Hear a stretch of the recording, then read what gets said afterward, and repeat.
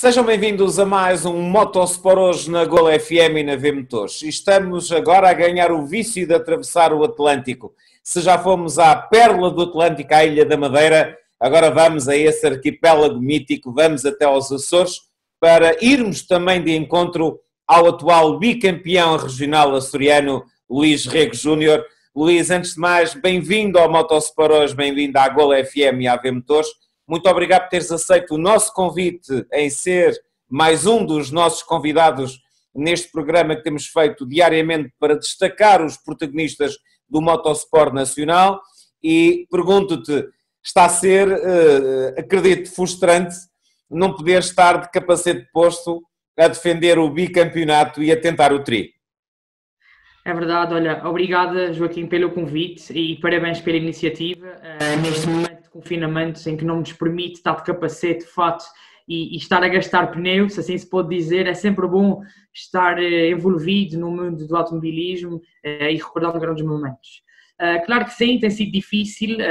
a tentação é, é enorme, nós temos os carros parados na garagem, eu várias vezes por dia, assim de fugida, desde casa até à oficina, nem que seja para matar um bocadinho de saudades. Mas o que é facto é que hum, neste momento o mais importante é, é a nossa saúde uh, e a saúde pública e, e, temos que ser pacientes e esperar pela hora certa para o regresso. Luís Rego, na tua opinião, o que é que ainda será possível salvar da época? O que é que tu achavas que seria a melhor decisão em relação ao que poderia ou não ser disputado no Campeonato Regional dos Açores uh, para esta época de 2020? Eu tenho acompanhado uh, da forma como é possível um bocadinho a todos, uh, a forma como se tem discutido, digamos assim, as soluções para os diferentes uh, campeonatos, mas sempre incidindo na modalidade que é os ralis. e é preciso perceber que, embora a modalidade seja a mesma, as realidades de cada campeonato são muito diferentes, quer do nacional, quer de, de ralis, quer na Madeira e quer nos Açores. A nossa realidade aqui é, é realmente muito diferente. Nós discutimos um campeonato em várias ilhas, é um campeonato um bocadinho dispendioso pelas deslocações e tudo mais. Uh, cerca de 90% aqui do, dos nossos pilotos uh, muito por, por carolice, digamos assim, ou seja, com apoios próprios. É difícil haver aqui uh, grandes equipas e grandes estruturas para, para a luta pelo campeonato. Um, e sinceramente não, não, não vejo um, um cenário muito favorável, uh, embora gostasse que fosse o contrário, mas é difícil. Uh, nós neste momento temos que sim pensar uh, em ultrapassar primeiro esta situação atual que estamos todos a viver, quer a nível de economia, quer a nível de saúde pública, e depois então numa terceira fase pensar aí sim no desporto temos ainda outras prioridades primeiro para analisar. Agora, no que toca ao desporto, que é aquilo que estamos aqui a discutir hoje, é um bocadinho difícil. Acredito que haja muitos projetos que tiveram que ser reavaliados, porque as empresas estão aqui a direcionar as suas verbas para uma primeira fase de manutenção do emprego e garantir que vão estar de portas abertas. Eh, e isto vai ser uma dificuldade muito grande para as equipas. Eh, numa segunda fase também, os próprios clubes, é normal que sintam mais dificuldades em conseguir pôr as provas na estrada. Um, e tudo isso vão ser, além de todas as condições que terão que ser garantidas uh, a nível de saúde pública para podermos voltar à competição, uh, o que é facto é que tudo isso uh, vai ser difícil, está tudo conjugado para que seja possível ainda existir um campeonato, porque aqui juro que se não tivermos no mínimo das sete provas que compõem aqui o campeonato, se não tivermos no mínimo cinco no meu entender, acho que não está reunidas as condições eh, de dignidade para se chamar então assim de campeonato, né? porque os, os últimos eh, campeões ou dos últimos anos, para ser, para o ser assim chamados, tiveram que discutir sete ralis, sete ralis muito característicos, porque o nosso campeonato dos Açores, felizmente, é muito completo. Não há ralis iguais, são ralis de terra, ralis de asfalto e com as particularidades de cada ilha. Portanto, é preciso analisar tudo, ter alguma cabeça fria e, e, neste momento também fazer um bocadinho o papel que a Federação está a fazer, que é de levar nesta fase, que é ouvir os pilotos, ouvir os clubes e tentar todos em conjunto arranjar uma solução para cada campeonato. Luís Rego Júnior, uh, tu és um júnior, mas já és hoje um sénior que uh, ao longo da tua carreira, ainda não muito longa, mas já vasta, tens tido um sucesso tremendo. Uh, para além dos dois títulos absolutos, o teu palmarés de ralis uh, em termos açorianos já tem mais, algum, mais alguns títulos conquistados à categoria e por isso eu vou-te, antes de falarmos desse duplo campeonato, que é obviamente a cereja no topo do bolo do teu palmarés. Vamos, no fundo, ao muito auditório que tu tens, quer na Ventores, quer na Gol FM, em Portugal continental e também nos países africanos de expressão oficial portuguesa, tentar contar um pouco da história do jovem piloto Luís Rego, como é que ele começou, obviamente, todos nós sabemos que pai Rego também competiu e, portanto, é fácil perceber que desde, que, se, que desde o berço que tu uh, ouviste motores a roncar e, portanto, era normal que também gostasses. Mas falamos um pouco da tua carreira, de como é que ela começou e de como é que ela se desenvolveu até ao início desse ano 2018, porque depois deixaremos uma parte importante desta entrevista para falar do bicampeonato. Claro. Olha, como disseste bem, um, ehm, o culpado de tudo isto uh, foi o meu pai, como é óbvio. Uh, eu, quando nasci, Uh, aliás, um bocadinho até antes, a minha família tem toda um, um historial ligado aos automóveis. Um, ehm, portanto, eu mal nasci, cresci no meio dos automóveis e cresci a ver o meu pai a correr, uh, numa fase ainda muito. Um,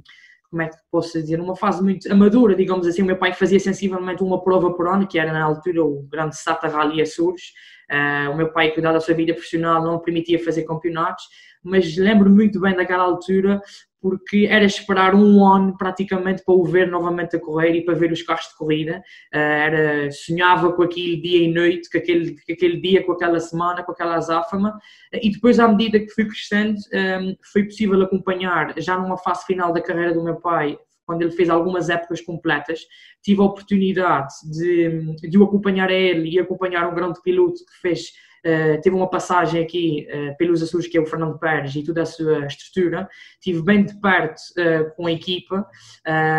e aprendi muito, mesmo sem correr, mesmo sem carta de condução. Aprendi muito, vi muita informação. Aliás,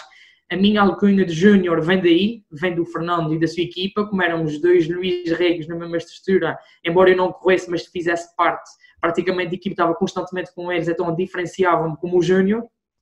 e a alcunha vem daí. Uh, e foi aí que comecei a ganhar, realmente a ganhar um gosto pelos automóveis e pelos rallies. Uh, e depois, sensivelmente a partir dos 11 anos de idade, uh, iniciei-me em corridas de autocross, organizadas aqui na altura, deves conhecer o Rui Ferreira, que organizava aqui algumas corridas e que lançou alguns jovens pilotos.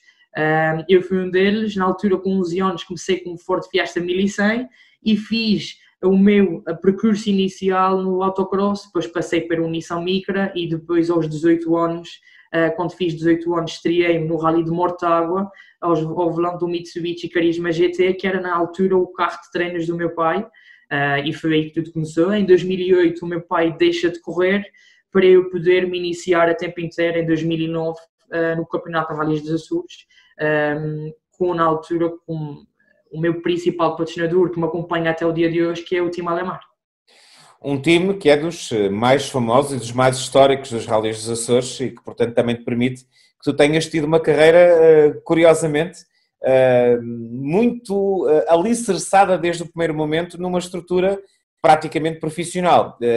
Pensas que também está aí um pouco a base do segredo que tu tiveste para ao longo da tua carreira desde 2008 ter estado sempre presente em ti o sucesso, o triunfo?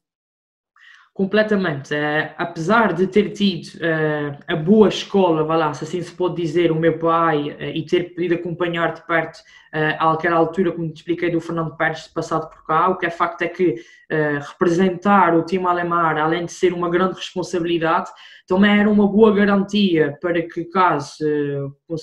conseguíssemos evoluir, poder ter uma oportunidade de lutar pelo meu grande sonho, que era ser campeão de rallies dos Açores. Um, e foi o que aconteceu. Uh, sou intensamente, sou imensamente grato ao, ao Alemar por a aposta que fez em mim. Na altura, as, os resultados eram mínimos, estavam acabando de iniciar, ou estavam a iniciar no desporto automóvel, mas confiaram em mim e, e, tentei dar sempre o meu melhor ao longo de todos os anos. Eh, tem sido uma caminhada que tem sido feita junta desde 2018 até agora, tem sido sempre o meu principal patrocinador uh, e tem-me dado uma enorme confiança e tem-nos dado, ou tem-nos posto uh, disponíveis todos os meios necessários para poder discutir nesta fase final dos últimos anos do Campeonato Rallys dos Açores e lutar pelo título e claro que é sem dúvida, foi sem dúvida uma grande alavanca para poder construir, vá lá, se assim se pode dizer, a minha, ainda, a minha carreira que tenho até hoje. E depois chegamos a 2018, e 2018 e 2019 transformaram-se no bicampeonato absoluto em termos eh, de campeonato regional dos Açores para o Luís Rega e para o time Alemar. Uh, Luís, uh, não foram de forma alguma dois títulos uh, que tenham sido conquistados de forma fácil, exigiram muito sangue, suor e lágrimas, como diria Winston Churchill. Exato, mas o que é assim também tem mais sabor e tem, tem outro mérito, digamos assim. Eu sempre tive eu costumo dizer, eu nunca tive a vida facilitada nas corridas, porque é das corridas que estamos a falar, e eu sempre tive um grande adversário, ah, que é para mim um dos melhores pilotos a nível nacional, sem dúvida, que é o Ricardo Moura. O Ricardo, quando foi campeão pela primeira vez, eu nem carta de condução tinha, portanto eu assisti ao primeiro título do Ricardo, de perto, ah, porque na altura também ele lutava com o Fernando Pérez por este mesmo título, e depois, portanto, a minha caminhada apanhei o Ricardo. Quando começo nos ralis, o Ricardo estava no seu auge, digamos assim, na altura, e teve que ser uma longa caminhada e foi o facto de ter, de ter tido eh, na minha carreira grandes adversários como ele que me fizeram trabalhar, dedicar-me uh, e para poder ser cada vez mais, uh, mais rápido, mais eficaz e mais regular. E de certa forma foi o que me permitiu também alcançar esses dois títulos Claro que a seguir o Ricardo veio outros grandes adversários. Uh, o Ricardo, quando decidiu por aqui uma paragem, uh, veio o Bernardo Souza, outro grande piloto também. E agora, numa fase final, temos novamente mais um grande piloto que é o Diogo Gago. Portanto, vieram animar o Campeonato de Rallys dos Açores e, e, vieram, de certa forma, um, ehm, puxaram por mim e, e obrigaram-me cada vez mais a trabalhar mais e mais e mais. Luís, um ehm, como é que vocês, pilotos açorianos, uh, veem esta invasão? Consideras que, por exemplo, a ida de uma estrutura como a Pérez Competições e como a Fernando Pérez, uh, daquela forma muito séria, aliás, o Fernando não sabe fazer ralis de outra maneira, uh, desde o início da sua carreira, que quer ele, quer Pai Pérez, quer a própria estrutura, sempre vê com muita seriedade a presença nos ralis, seja quando ele disputou os títulos nacionais, seja quando esteve nos Açores de uma forma bem bem intensa, quer agora também nos chamados campeonatos de zona que faz em Portugal. Julgas que, que a ida dele e a ida de pilotos eh, externos aos Açores, em vez de ser vista como, uh, por vós como uma ameaça, é, é bem-vinda? É uma forma de elevar cada vez mais o nível do campeonato? Assim, eu entendo que certas pessoas podem olhar para, para esta vinda desses pilotos de uma forma menos uh, amigável, vai lá, se assim se pode dizer, porque ao fim e ao cabo são, são empresas locais que, em vez de deixar ou de apoiarem os pilotos locais, nós cá também temos grandes valores e grandes pilotos, optem por uh, apoiar outros pilotos uh, vindos do continente. Mas acho que isso não é, não se deve olhar de uma forma depreciativa de tudo. É claro que, que era importante apoiar os pilotos locais, numa primeira fase é importante apoiar os pilotos locais. Mas, por outro lado, estes apoios permitiram trazer à região ehm, grandes pilotos, grandes lutas, permitiram elevar bastante uh, o desporto automóvel nos Açores, desde, por exemplo, como lembro da entrada do Fernando Pérez, o campeonato e os ralis nos Açores revolucionaram-se por completo, porque lá está, tal como aconteceu comigo, ter que ir atrás e ter que trabalhar para acompanhar os meus adversários, aconteceu da, tal, da mesma forma com, com, com, o ingresso do Fernando Pérez aqui no campeonato, ou seja, todos os meus pilotos locais tiveram que trabalhar mais e mais para o conseguir acompanhar. Uh, e acho que isso, de certa forma, só foi bom e, foi benéfico para, para, o, para o desporto automóvel nos Açores.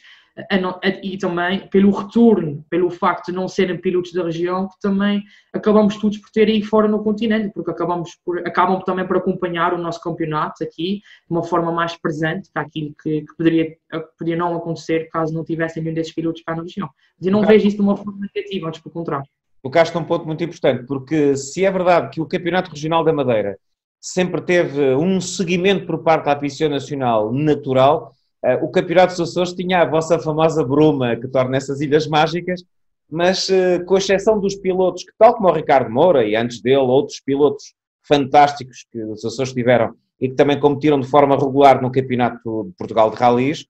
havia um desconhecimento muito grande das provas açorianas. E aí penso que tocaste um ponto importante. A ida de pilotos como o Fernando Pérez, como o próprio Bernardo Souza, como agora o Diogo Gago, acaba por dar uma maior visibilidade eh, em Portugal continental e nos mídia eh, nacionais, globais, eh, ao vosso campeonato. Concordas com isso? Não, concordo. Nunca se falou tanto no Campeonato de Rallys dos Açores como nos últimos 4, 5 anos, vai lá assim. Se pode dizer desde que tivemos presenças assíduas uh, de pilotos do continente a discutir aqui o campeonato. Portanto, eu entendo ambos os lados, uh, mas não vejo de forma alguma a vinda desses pilotos como uma forma negativa, porque só vieram de certa forma enaltecer o nosso campeonato, criar mais competitividade um, eh, e pronto, e temos que de certa forma estar satisfeitos com isso, porque acho que é bom para o desporto e é bom para a região. Luís, tu curiosamente começaste a tua carreira no continente, num rally de Mortágua, que ainda para mais logo num dos mais duros rallies que Portugal tem numa região com classificativas verdadeiramente fora de série. E que infelizmente já sabemos que este ano uh, não se irá realizar, mas esperamos nós em 2021 uh, estará de volta ao uh, circuito maior de rallies em Portugal. E por isso a pergunta impõe já temos um campeão nacional nascido nos Açores, chama-se Ricardo Moura e é manifestamente um dos pilotos eh, mais carismáticos das últimas duas décadas em termos de Campeonato de Portugal de Rallys e mesmo agora estando semi-retirado, sempre que aparece num rally de, do continente, sobretudo nesse rally que ele tanto gosta, que é o Rally Serras de Faf e este ano de Felgueiras, claramente quando vem é para fazer tudo para ganhar. Faço-te a pergunta, Luís Rego. Tu és bicampeão regional dos Açores. Uh, o passo natural seguinte que gostarias de dar era poder aos poucos transitar para um dia atacares o título nacional? Olha, claro que sim, acho que é o sonho de qualquer piloto, uh, depois de cumprir, de certa forma, o seu sonho aqui na região, que era ser campeão de rallies dos Açores, e por duas vezes, claro que o próximo passo seria este. Eu este ano, uh, ou ano que passou, 2019, tive a oportunidade de fazer algumas corridas aí fora no campeonato, já não fazia uma prova no continente desde o início da minha carreira. Uh, foi, uh, são tempos bastante diferentes uh, a nível de experiência, a nível de próprio ritmo e conhecimento de, de, de terreno também. Um, e foi uma experiência muito agradável, gostei bastante, embora a dificuldade é grande, porque neste momento o nível competitivo no Campeonato Nacional é, é elevadíssimo, mas são grandes estruturas, grandes investimentos, o conhecimento e a dedicação por parte de, dos pilotos que lutam pela vitória é praticamente profissional, ou seja, são, vivem praticamente para as corridas, um, o que não é fácil, uh, mas não deixa de ser um desafio e, e, claro que era algo que eu gostava no futuro próximo de poder, uh, de poder fazer e, e, e, também trazer um título para os Açores, tal como o Ricardo trouxe. Um, é algo que temos que ir trabalhando. O que é facto é que os nossos patrocínios, os nossos patrocinadores neste momento, além do turismo dos Açores, não é? quem nos permite, uh, e o governo dos Açores que é quem nos permite essas participações esporádicas, uh, tudo o resto dos nossos patrocinadores, o interesse em promover é na região. Um, portanto, é difícil conseguir montar um projeto ao nível dos da frente, mas é algo que, que sim, que tem em mente e que, que certamente iremos trabalhar no futuro. Faço esta pergunta, apesar dos interesses em termos de comunicação e de marketing uh, do time Alemar se centrarem muito nas ilhas ah, das conversas que tens com os ah, responsáveis da equipa, ah, que no fundo também é o patrocinador, é a empresa e portanto é o patrocinador principal, eles veem com bons olhos a possibilidade de tu fazeres, pelo menos nos próximos anos, algumas provas e um dia atacares o título nacional? É claro que sim, claro que eles veem isso com bons olhos, ou seja, sempre me apoiaram é, é, o máximo que podem, como é óbvio, é, porque hum, também são, são pessoas também bastante empenhadas, é uma empresa que que já apoia a competição e tem uma forma de estar no desporto que se enquadra muito com a minha uh, e recebo o máximo apoio por parte do time Alemar sempre. Agora, como sabes, a questão do apoio e do patrocínio através das tabaqueiras é muito sensível. Uh, nós aqui nos Açores, felizmente, temos aqui uh, algo que nos permite uh, ter uh, ou poder levar este tipo de publicidade, coisa que a nível nacional não é, não é assim tão fácil ou, ou sequer possível, uh, e por isso se calhar não estão mais presentes ou não apoiam mais precisamente por não poder ou por não os deixar, que, que, tem que ser, tem que ser aceitado, que são assim essas, as regras que são. agora, enquanto for possível, e espero que seja possível continuar com este apoio nos Açores durante muitos anos, tenho a certeza que, o time alemão vai continuar a apoiar o desporto, tal como tem feito até agora. Luís Rega, uh, exemplo do que aconteceu na época passada, tu este ano tinhas previsto alguma vinda pontual aos rálios do continente? Sim, tínhamos, uh, por via novamente da revalidação do título em 2019, nós este ano contamos novamente com o apoio do Governo Regional, que tem uma verba que é atribuída ao campeão de Rallys dos Açores, para representar a região novamente em competições fora dos Açores claro que este ano íamos tentar maximizar ao máximo tudo o trabalho desenvolvido e o conhecimento do ano anterior e, e tínhamos previsto já a realização de mais algumas provas este ano. Sim. Quais seriam? especialmente repetir aquelas que fizemos. Uh, o Rally do Vidreiro, claro que era, era, era um do, uma das escolhas. Percebemos que o Rally da Amarante este ano uh, não podemos repetir porque será, seria num tipo de piso diferente. Trocaram-nos aqui um bocadinho as voltas, mas gostava também de participar, uh, substituir este pelo Alto Tâmega, porque me parece que é um rally novo também no campeonato. Uh, primeira vez que acho que vai ingressar no Campeonato Nacional. Trata-se de um rally bastante giro, pelo aquilo que vou, que vou sabendo e bastante interessante. Este também está nos nossos planos e, se possível, além do Azures Rally, como é óbvio, apontar para o Nacional, gostávamos de, tentar ver se conseguíamos mais alguma, realizar mais alguma prova, mas lá está, com tudo essa situação que estamos a atravessar, os planos mudam completamente. Um, e pronto, agora vamos primeiro esperar para perceber se é possível regressar, para então avaliar tudo e perceber onde é que vamos, onde é que vamos poder estar presentes. Luís Rega, a maior parte dos aficionados do continente tem aquela ideia de que vocês são os experts na Terra, porque, claro, o rally que nós mais conhecemos é o Açores Rally, eh, que já passou por várias designações, mas é uma das provas mais carismáticas, não apenas realizadas em território eh, de Portugal, português, mas eu diria do mundo, eh, para além de ter aquela que é considerada a mais bela classificativa do mundo. É sempre difícil, nós puxamos um pouco a nossa sardinha, haverá mais duas ou três extraordinárias, estava-me a lembrar aqui de, de uma ou duas também da Nova Zelândia que são fabulosas, mas obviamente a nossa famosa classificativa vulcânica é maravilhosa e é é, é um regalo para quem vê as filmagens no Eurosport. Mas um, eh, ehm, as pessoas esquecem-se que nos Açores vocês também têm ralis em asfalto. Por isso pergunto um, ehm, tu és mais peixe de terra, mais peixe de asfalto ou vem a qualquer dos pisos porque o Luís Rego Júnior gosta de competir em qualquer de, das duas situações? Olha, a minha formação desde o início foi tudo feita na terra. Um, ehm, porque, Exato, uh, na Terra que era aqui uh, portanto, o autocross e mesmo em São Miguel, os pilotos de São Miguel têm uma ligação maior aos pisos de terra uh, do que outros pilotos, por exemplo na Ilha Terceira o piso de eleição é o asfalto, pouco ou nada se faz na terra. E aqui era um bocadinho o contrário, ou seja, praticamente era tudo na terra e pouco ou nada se fazia de ralis de asfalto, tem a ver com a cultura de cada ilha,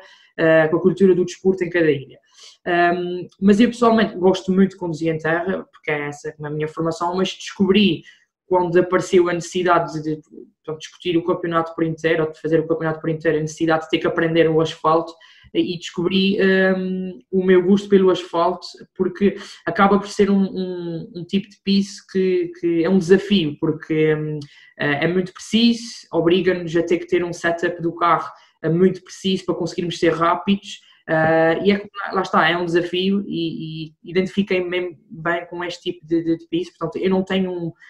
um piso de, de, de, eleição, digamos assim. Se eu, te, se eu te dissesse, me perguntasse em qual deles é que tu mais divertes, então aí sim, na Terra. Uh, mas qual deles preferes é diferente, tem características muito próprias e sinto-me bem tanto num piso como no outro. Já aqui referenciaste que se a carreira for conseguida sempre com sucesso, quererás dar o salto para o Campeonato de Portugal e um dia vir a tentar suceder ao Ricardo Moura e ser o segundo açoriano a chegar ao título. Uh, obviamente a outra pergunta que se impõe é se pensas numa carreira mesmo pontual em termos internacionais, num europeu, uh, pondo aqui de lado obviamente a, a, indispensável presença no Rally dos Açores, que uh, será também um sonho para ti um dia vencer.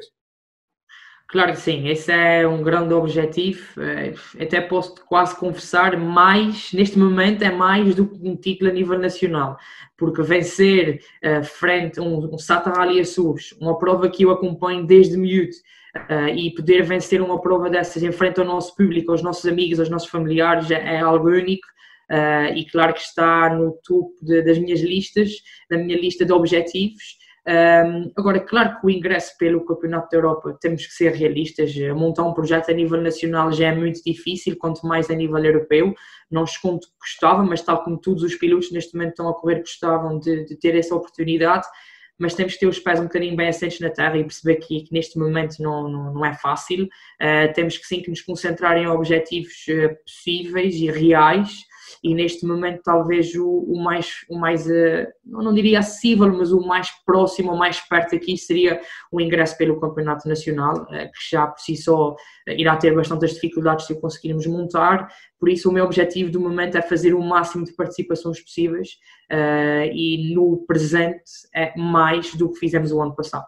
E claro, este ano, a haver competição em campeonato, assumes que queres renovar e queres chegar ao tri. Sim, esse é o nosso objetivo, é o objetivo com que começamos a trabalhar já no final de 2019 para 2020, nós em conjunto com o time Alemar e toda a nossa estrutura, com a ARC e a minha equipa, a Rio Competições, começamos logo todos a trabalhar para que, se fosse possível, este ano estar novamente uh, com toda a força para revalidar uh, este dois, este bicampeonato, né? ou neste caso o tricampeonato, uh, com o máximo de respeito, como é óbvio, pelos nossos adversários, porque também eles têm uh, o interesse e têm o objetivo na luta pelo título, mas acho que assim é que é agir, haver duas equipas com condições e com os mesmos objetivos. Acho que só é bom para o público, só é bom para o desporto, é bom para toda a gente. Luís Rego, muito obrigado por teres aceito este convite, estar connosco esta quase meia hora a conversarmos e a darmos a conhecer a um público muito alargado uh, o jovem bicampeão de ralis dos Açores. Um, e digo que deixar essa ideia que te deram de que o Rally Altâmica tem excelentes classificativas, acredita, são fantásticas. E vais-te gostar muito de fazer eh, esse rally, esperemos que ele realmente se realize, porque também todos nós estamos com uma vontade enorme que dentro da máxima segurança possamos ter de volta ao Campeonato de Portugal de Ralis, como também os outros campeonatos eh, de Portugal e os campeonatos regionais que são disputados. Agradecer-te, desejar-te o máximo de felicidades pessoais e também desportivas para ti, para a tua família, para o teu navegador e para todos quantos te rodeiam e eh, esperar que a próxima vez que nos vejamos seja para uma conversa barra entrevista em pleno Rally dos Açores, que era muito bom sinal para a época estranha, no mínimo estranha, que estamos a viver. Muito obrigada, Joaquim. Uh, fico à espera uh, que em setembro seja possível nos reencontrarmos aqui em, em, São Miguel para a realização deste grande rally que é o Azores Rally. Até lá, uh, peço para que todos tentamos ao máximo cumprir com as regras de, de, de segurança para ver se conseguimos vencer esta, mais esta grande etapa. Muito obrigado. obrigado. É o fecho de mais um episódio do Motosport. Hoje demos um salto até às maravilhosas Ilhas dos Açores para conhecer o Luís Rego, ele que é o atual bicampeão eh, regional dos Açores em título e que este ano se preparava para uma luta árdua na defesa desse bicampeonato e na conquista de um nada habitual tri num campeonato que é altamente competitivo. A emissão, como sempre, foi conduzida pelo jornalista Joaquim Amandio Santos, tendo Armando Leitão na edição de imagem e, claro, Paulo Seabra a assumir a sonoplastia. Saudações a todo o auditório, um forte abraço e até ao próximo programa.